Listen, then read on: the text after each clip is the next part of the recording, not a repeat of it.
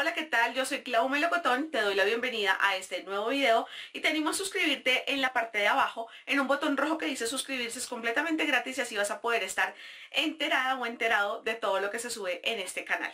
Quiero contarte que al final del video también te estoy dejando un pantallazo con dos videos sugerencia de mi canal, eh, sugerencia que tienen que ver, son relacionados a este tema que estamos hablando y también te dejo un botón redondo donde está mi foto y ahí puedes pinchar también para suscribirte. Entonces si no lo vas a hacer ahorita, lo puedes hacer al final, no te preocupes.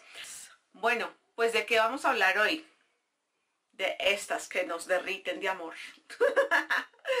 de las hermosas brochas, nuestras brochas de maquillaje. Les voy a mostrar cómo las lavo yo, pero antes de eso les voy a mostrar cómo las guardo yo. Pues les muestro que este es mi tarro. Yo le, llamo tarro. En Colombia se le llama esto tarro. Es como de metal.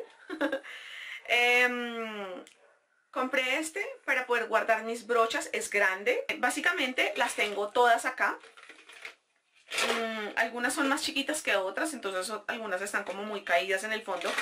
Pero ah, lo que quiero decirles es que es muy importante que tus brochas estén cubiertas realmente, las que usas todos los días, las que de verdad estás usando, que es muy importante que no las tengas a la intemperie, porque si no las estás lavando frecuentemente van a ser un foco de bacteria completo, o sea, un foco de infección impresionante.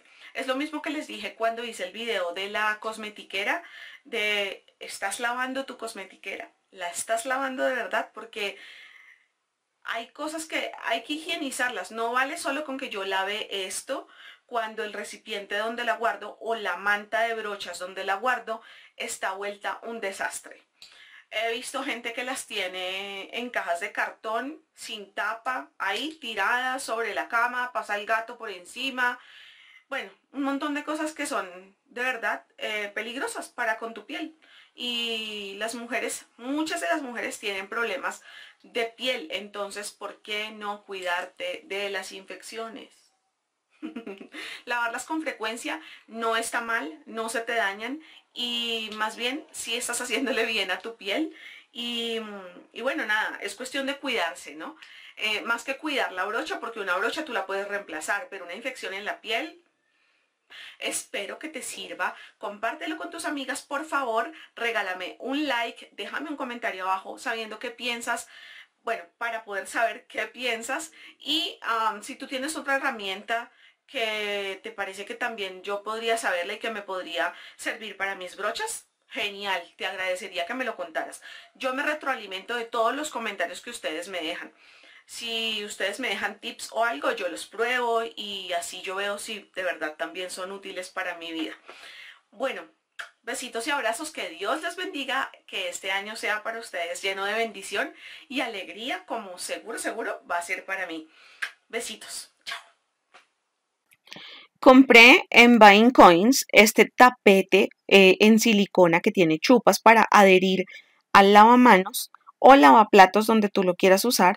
Em, tiene diferentes texturas, eh, unas más separadas que otras para el tipo de brocha, ¿no? Entonces, unas son como para polvo, otras para las brochas de sombras que son más apretaditas. Y bueno, así tiene diferentes texturas para que puedas usar. Yo uso para lavarlas champú de bebé normalmente, pero también, por lo menos las de base, eh, uso de la acción antibacterial, que es súper, súper bueno para retirar todos esos residuos eh, de base que se quedan dentro del pelo de la brocha. Y lo primero que hago, como me hago yo el champú y como te lo haces tú, es humedecer el cabello, el pelo de nuestra brocha y luego sí ir a ponerle al tapete el champú o el jabón antibacterial el que esté usando y empezar a restregar la brocha suavemente por eh, todas las texturas que tiene el, tapetito este que les acabo de mostrar. Luego las juego con bastante agua y mm, en la posición eh, más adecuada, que es la que están viendo en este momento, nunca las sumerjo en ningún balde ni permito que se me llene de agua el mango porque lo más seguro es que se va desprender. Mm, la forma de, de, escurrirlas es así, como a la, presión, a la presión que me dé la mano y luego la pongo en una toalla para terminar de escurrir. Ahora verifico que el pelo realmente por dentro no tenga ningún residuo de producto y listo, vuelvo a pasar por toalla a lo que me dé la fuerza de la mano, vuelvo a repetir y ya, la posición para dejarlas en, eh, para que escurran y todo esto que sequen es verticalmente sobre una toalla limpia y cerca de una ventana donde le dé muy buena ventilación a la brocha. Espero que les sirva, que les guste, que lo practiquen, me cuentan cómo les pareció. Bueno, un abrazo y bendiciones, chao.